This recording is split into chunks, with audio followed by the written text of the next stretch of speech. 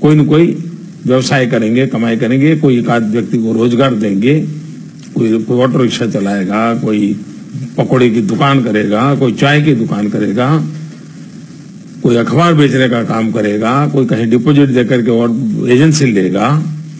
ये सब चीज़ें रोजी रोटी कमाने की व्यवस्था हुई है कि नहीं हुई है?